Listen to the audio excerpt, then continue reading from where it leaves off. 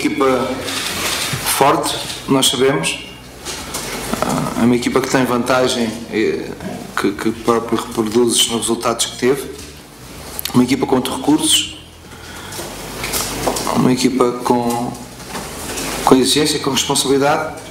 Mas acho que isso não, não, nos, não nos impede de ser ambiciosos e de estarmos motivados para evidentemente ter que fazer um grande jogo, contra uma equipa destas, para se vencer, tem que se jogar muito bem.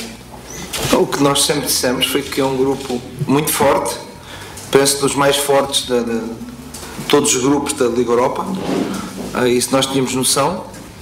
Uh, o Shakhtar é, é mais favorito, isso toda a gente o afirma, uh, nós também podemos aceitar isso.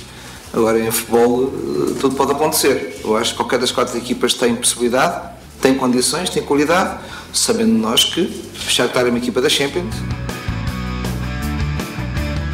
O que é que podemos fazer? Ele conhece os nossos jogadores, os nossos jogadores não conhecem ele, nós conhecemos. Portanto, o Shakhtar também jogou na época passada duas vezes com o Braga, mas o que vai marcar tudo é o jogo da manhã, não é?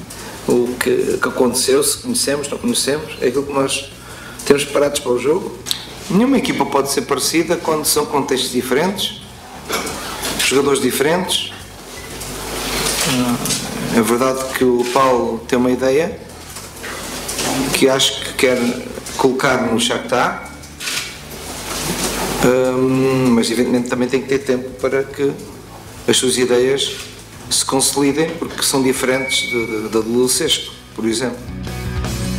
Eu acho que não, porque também nossa equipa conhece muito bem de, de Shakhtar, jogamos duas, duas vezes no ano passado e uf, eu acho que amanhã, amanhã vai ser um novo jogo comple, comple, uh, diferente.